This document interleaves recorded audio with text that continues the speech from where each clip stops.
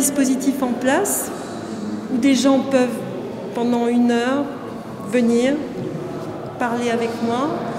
Je commence à parler à partir d'une idée qui est, qui, de venir avec une idée pour changer le monde.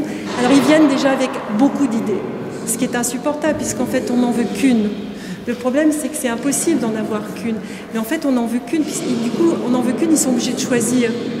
Et, et, ça, commence un dialogue entre eux et moi, et puis, euh, et puis je leur propose de, de, de, alors de se détacher littéralement, de se décoller de cette matière. Et puis, voilà. Tout ce que j'ai. Puis après, ça termine juste en dessous, là, comme ça. Et puis, la, tout, ce que, tout ce qui s'est passé entre eux et moi, tout ce qui a été recueilli, va aller ailleurs et va servir à un film. Et si vous me demandez ce que ça va être, je vais vous dire, je n'en sais rien. Je tourne avec Donato Rotuno un film à partir de tout ce qui a été laissé. Je ne sais pas si c'est un documentaire, un documentaire fiction, une fiction, je ne sais pas. Il va sortir en avril prochain, ce qui me fait assez rire. Mais en tout cas, parce que je ne sais pas du tout, ce sera terminé. Mais en tout cas, cette matière est là. Les gens, euh, les gens euh, apportent énormément à partir du moment où on les laisse parler.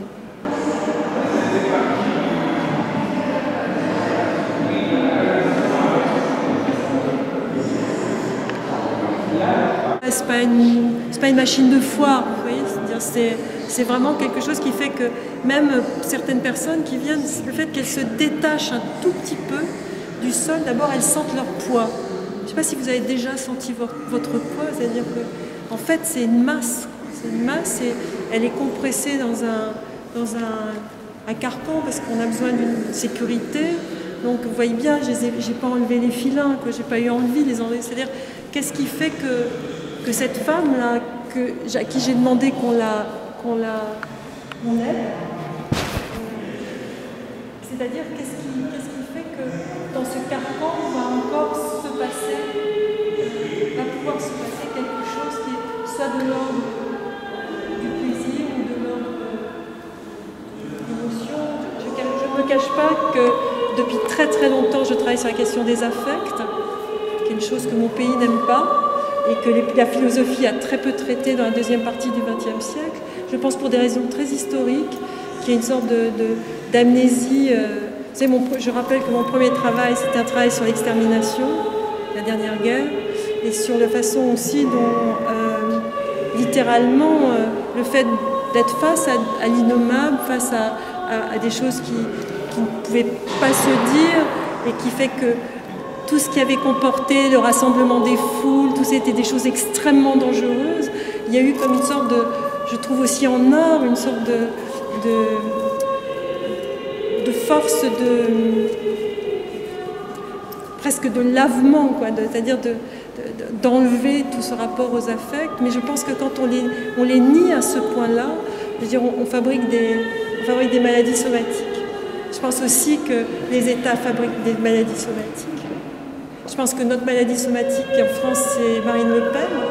Mais euh, je pense aussi que, toute euh, cette matière-là est à considérer. Moi, je travaille avec. Je choque beaucoup de gens en disant que je travaille avec un matériau humain. Je travaille un matériau humain parce que ça m'oblige à avoir une éthique de l'esthétique. C'est une question extrêmement importante pour moi. Je ne suis pas une artiste de la plainte, je suis pas une artiste de. Moi, je suis une artiste d'autre possible.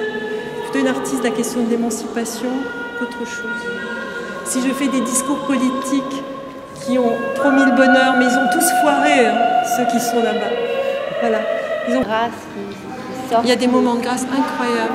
Aujourd'hui, j'ai vu un homme, il arrive et me parle de félicité. Vous voyez ce mot, déjà c'est un mot extrêmement particulier, la félicité. Et euh, alors lui, il est parti, voilà, je l'ai plus redescendu, je l'ai laissé là-haut. Alors là, je me suis retirée. Voilà. Est-ce que justement vous allez J'écris participer à ce témoignage oui, et le faire J'écris toujours un carnet de. Ouais. Parce que c'est aussi émotif que complémentaire. Elle est montée Et en fait, euh, je n'ai pas pris ce qui s'est passé, je n'ai pas montré ce qui s'est passé après. Je pourrais le faire, je ne l'ai pas fait. Elle a lâché les morts. C'est un moment. Elle se mise à hurler dans le musée, mais pas un hurlement de peur, De, de colère. oui, de colère, de soulagement. Et elle est descendue, elle a dit j'ai, laissé partir les morts. Moi, moi, je. Vous voyez, je veux dire, c'est quand même assez particulier. C'est des petites séances de psychanalyse que vous non, faites pas euh, du tout, parce qu'on ne parle jamais de choses personnelles.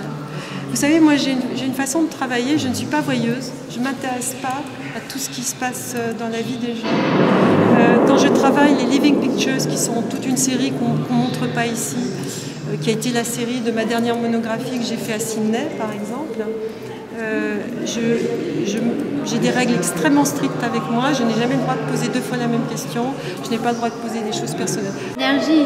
Non, pas du tout. J'ai pas du tout. Je suis pas du tout une fille qui est énergie. Non, très pas traversée par le monde. Le monde m'affecte. Pas du tout. Ouais. Je sais pas. Je, je... Oui, il- il- littéralement, il m'aff- il m'affecte. Dans, dans le pire sens et dans le meilleur. Ouais. Il vous donne votre énergie aussi, quelque part. Oh là là, moi je fais de l'art parce que je suis en colère. Et vous êtes à. Depuis, vous, depuis l'âge de 12 ans, je peux vous dire très Ah précisément. oui. En vous, révolte. êtes, Je suis très en colère. mais vous êtes l'antithèse de Marcel Duchamp, qui lui prônait le principe d'indifférence. Oh bah écoutez, ça c'est drôle que vous me disiez ça parce que je ne sais pas si vous connaissez, mais il y a une seule œuvre de moi en France, elle s'appelle Déçue la mariée se rhabilla et dans la collection de Beaubourg. C'est une œuvre sur la question de la modernité. Parce qu'en fait, l'air de rien, j'ai l'air comme ça dans des affects, je suis quelqu'un qui aime beaucoup la théorie. Je suis très hantée par la philosophie. Vous avez déjà vécu un envol? Euh, moi j'ai plutôt vécu des, vie? moi j'ai plutôt vécu des choses euh, qui sont l'inverse, du deuil. Beaucoup. Mais l'envol existe. Tous les grands, les, les grands philosophes en parlent. C'est, euh, Oui, moi la première fois que je l'ai vécu de façon théorique, c'est avec Socrate qui parle du vent. Il faudrait qu'il y ait du vent dans la démocratie. Enfin, il ne dit pas ça, c'est moi qui le dis. Mais l'arrivée du vent chez Socrate est une chose complètement incroyable. C'est pas vraiment ce que c'est. Il en parle tout le temps. Merci Marc, merci David.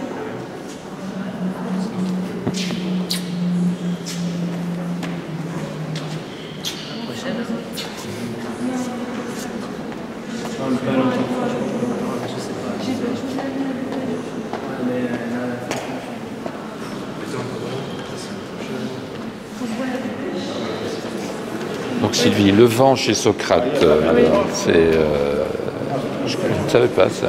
C'est, qu'est-ce qui... Je sais pas, il est tout le temps en train de parler de ce vent qui passe et qui bougerait les choses. Et c'est et c'est un truc complètement, parce qu'en fait c'est assez mystérieux. Et c'est donc moi je le prends à un degré euh, très... euh, je dis moi j'aimerais du vent dans la démocratie.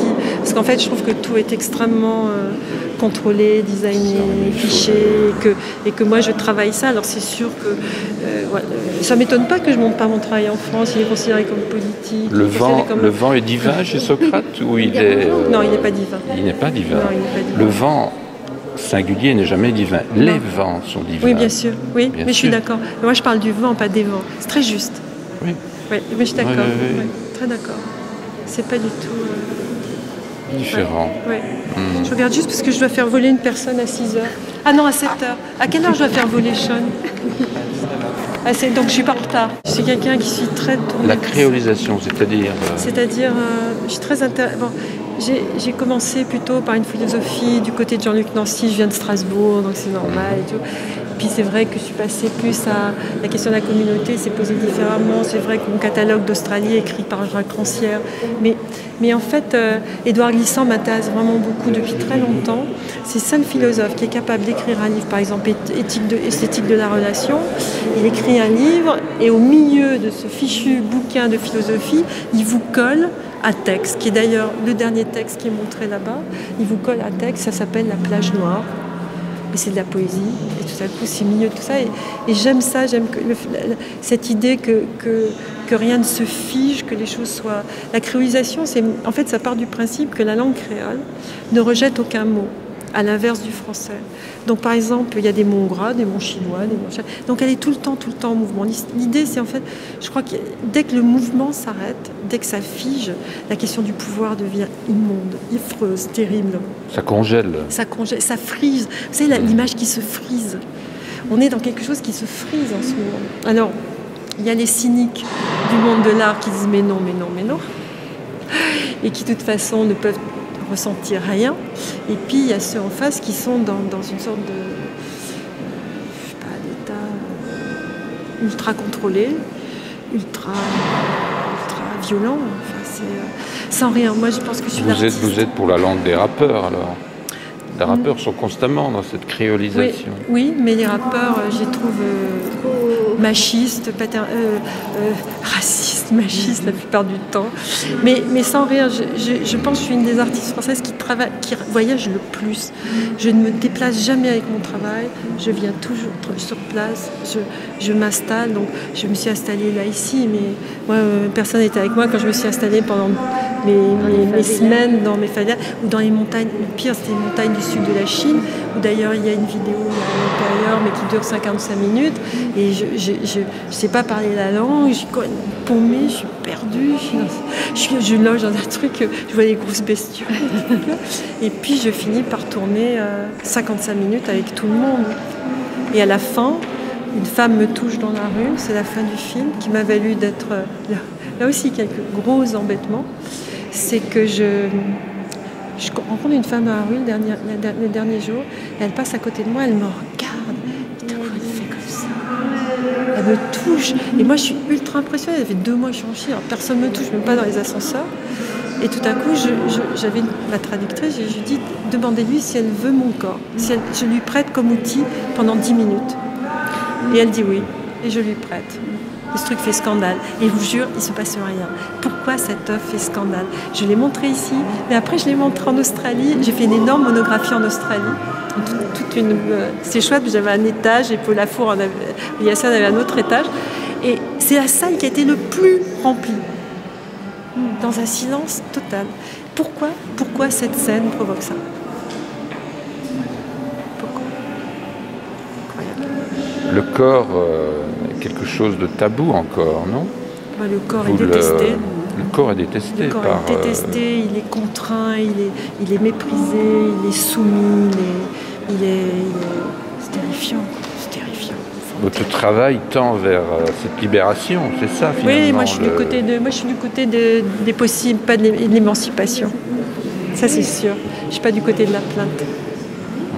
Ah, voilà un de mes personnes avec qui j'ai travaillé. Voilà. Il est...